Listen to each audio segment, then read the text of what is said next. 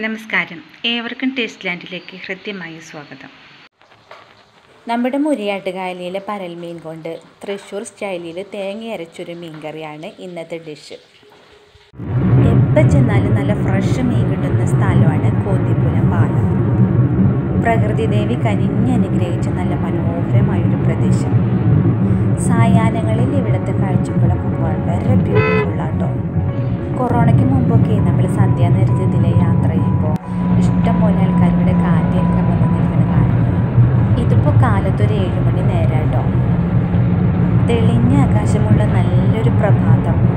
ഈ പ്രഭാത കാഴ്ചകൾ തന്നെ നല്ല സുന്ദരമാണ് അപ്പോൾ തോന്നി മഞ്ഞുള്ളൊരു പ്രഭാതത്തിലേക്ക് പോലും യാത്ര ചെയ്ത് ഓരോ ഋതുവിനും വ്യത്യസ്ത രൂപവും ഭാവമാണ് ഈ പ്രദേശത്തിന് ഈ കാണുന്നതാണ് പ്രാവിൻകൂട് ഷാമ്പു കറികളുടെ വൈവിധ്യം കൊണ്ടും ടേസ്റ്റ് കൊണ്ടും പ്രസിദ്ധി ആർജിച്ചൊരു ഷാപ്പാണത് പുഞ്ചക്കൊയ്ത്ത് കഴിഞ്ഞാൽ ഈ പാടത്ത് നല്ല പോലെ വെള്ളം കയറും. ഈ മുരിയാട്ടുകായലും മുഴുവൻ മുങ്ങിക്കിടക്കുന്ന നല്ല മനോഹരമായ കാഴ്ചയായിരിക്കും.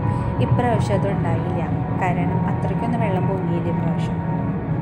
അതുകൊണ്ട് തന്നെ ഇപ്രാവശ്യം മീനും വളരെ കുറവായിരുന്നു. ഇപ്പോൾ വെള്ളമൊക്കെ നന്നായിട്ട് താന്നു. വരമ്പൊക്കെ തെളിഞ്ഞു തുടങ്ങി. നിറച്ച അമ്പൽപ്പൂക്കളുണ്ട് ഇപ്പോൾ ഒരു രണ്ട് മാസം കഴിഞ്ഞ് വരുമ്പോൾ കാഴ്ച ഉണ്ടാവില്ല. ഈ മാസം അവസാനത്തോടു കൂടി തന്നെ അടുത്ത പുഞ്ചകൊയ്ത്തിനുള്ള ഒരുക്കങ്ങളൊക്കെ തുടങ്ങും. വെള്ളം വറ്റിക്കില്ല അങ്ങനത്തെ കാര്യങ്ങളൊക്കെ ഉണ്ടല്ലോ. ഞങ്ങളിപ്പോൾ ഒരു യാത്ര കഴിഞ്ഞ് വരണ വഴിയാണത് ഈ വഴിയരികിലേ ഇതിന്റെ സൈഡിലൊക്കെ ഈ ഫ്രഷ് മീൻ പിടിച്ച് അവിടെ തന്നെ വിൽക്കാനായിട്ടുള്ള സ്റ്റാളുകളുണ്ട് പിന്നെ ബജ്ജിക്കടകളൊക്കെ കണ്ടു. സായാഹ്നങ്ങളിലായിരിക്കും അതൊക്കെ സജീവമാവാന്ന് തോന്നുന്നു. ഇപ്പോൾ കൊറോണ കാലമല്ലേ അതുകൊണ്ടായിരിക്കും അടച്ചിട്ടേക്കാണ് ഇതൊക്കെ. വെറുതെ ഒരു ഡ്രൈവ് ഒരു ഫ്രഷ് ബോഡിയിലേക്ക് വരാനായിട്ട്. അങ്ങനെ ആഗ്രഹിക്കുന്നവർക്കൊക്കെ ഇതൊരു നല്ല ഏരിയ അപ്പോൾ നമ്മളിതാ കോതിപൂലം പാലത്തിലേക്ക് എത്തി. ഇതിന്റെ സൈഡിൽ സ്റ്റാളുകളുണ്ട്. നമുക്ക് അവിടെ നിന്ന് മീൻ വാങ്ങിയിട്ട് പോകാം. വണ്ടി ഇവിടെ ഒതുക്കാം.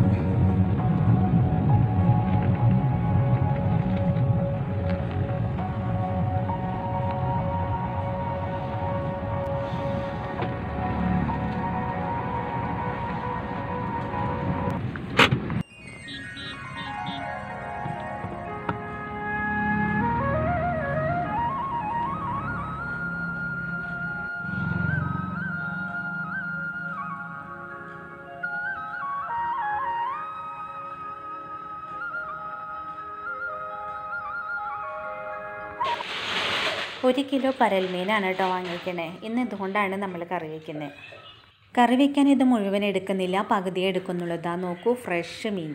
അപ്പോൾ നമുക്ക് ഇതൊക്കെ വെട്ടി കഴുകി വൃത്തിയാക്കിയിട്ട് വരാം. ഇതാ ഇതെല്ലാം നമ്മൾ ഇതിലേക്ക് ചതയ്ക്കാനായിട്ടാണ് എടുത്തിരിക്കുന്നത് ഒരു കഷ്ണം ഇഞ്ചി പച്ചമുളക് ചുവന്നുള്ളി. ഇനി അരയ്ക്കാനായിട്ടുള്ളത് എടുക്കാം. മുക്കാൽ കപ്പ് നാളികേരം അര ടേബിൾ സ്പൂൺ മഞ്ഞൾപ്പൊടി ഒന്നര ടേബിൾ സ്പൂൺ മുളക് പൊടി. ഇതിൽ ഞാൻ മല്ലിപ്പൊടി ചേർക്കണില്ല കേട്ടോ. വെക്കാൻ ഉദ്ദേശിക്കുന്ന പാത്രം എടുക്കുക. അതിലേക്ക് നമ്മൾ ചതച്ചെടുത്ത ഇഞ്ചിയും ചൂന്നിമിളകും ചുവന്നുള്ളിയും കൂടെ ചേർത്ത് കൊടുക്കുക. ഈ ചെറിയ മുളകിന് ഞങ്ങളുടെ നാട്ടിൽ ചൂന്നിമിളക് എന്നാണ് പറയുക കേട്ടോ. കാന്താരി എന്നാവും മിക്കവാറും ആൾക്കാർ പറയുക അല്ലേ? ഇനി നമ്മുടെ കറിവേപ്പില ഒരു മൂന്നാൽ തണ്ട്. കാന്താരി മുളക് ഒരു പത്ത് പന്ത്രണ്ട് എണ്ണ എടുത്തിട്ടുണ്ട്. കറിക്ക് ആവശ്യമായ ഉപ്പ് ചേർക്കാം. ഇതിൽ പുളിക്ക് വേണ്ടി ഞാൻ ചേർക്കുന്നത് മാങ്ങത്തൊലിയാണ് കേട്ടോ. മാങ്ങത്തൊലി എന്ന് വെച്ചാൽ ഉണങ്ങിയ മാങ്ങയില്ലേ? അതിന് ഞങ്ങളുടെ നാട്ടിൽ മാങ്ങത്തൊലി എന്നാണ് പറയാം. പിന്നെ ഒരു രണ്ട് ടേബിൾ സ്പൂൺ പച്ച വെളിച്ചെണ്ണയും കൂടെ ഒഴിച്ചിട്ടുണ്ട്. പുളി അവരവരുടെ ഇഷ്ടത്തിന് ചേർത്തോളൂ കേട്ടോ. ഈ കായലിലെ ചെറുമീൻ കറികളിലൊക്കെ ഏറ്റവും നല്ലത് എപ്പോഴും ഇരുമമ്പുളിയാണ് പച്ചമാങ്ങയോ കോൽപ്പുളി പിഴിഞ്ഞതോ ഇഷ്ടമുള്ളത് ചേർക്കാം കേട്ടോ. നമ്മൾ അരച്ചെടുത്ത അരപ്പും കൂടി ചേർത്ത് എല്ലാം കൂടി നന്നായിട്ടൊന്ന് മിക്സ് ചെയ്യാം. ഇതിലേക്ക് നമ്മൾ വൃത്തിയാക്കി വെച്ച മീനും കൂടി ചേർത്ത് വീണ്ടും ഒന്നും കൂടെ മിക്സ് ചെയ്യാം.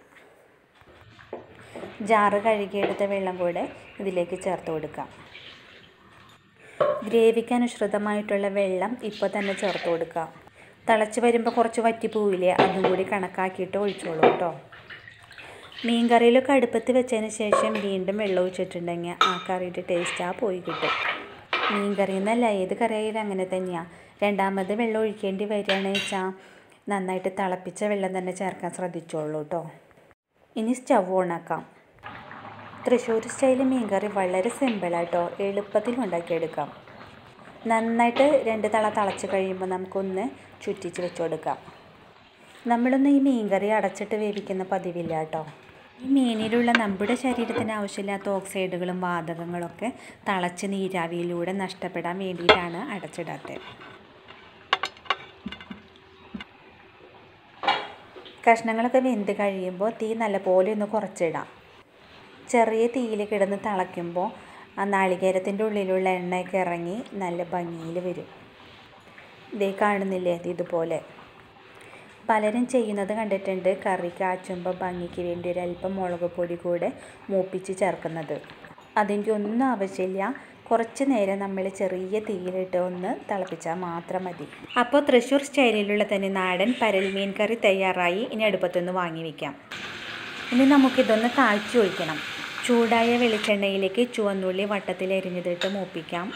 ചുവന്നുള്ളി മൂത്ത് വരുമ്പോൾ അതിലേക്ക് ഒരു കാൽ ടീസ്പൂണോളം വറുത്ത് പൊടിച്ച ഉലുവ ചേർത്തിട്ടുണ്ട്. ഇനി കറിവേപ്പില കൂടി ചേർക്കാം.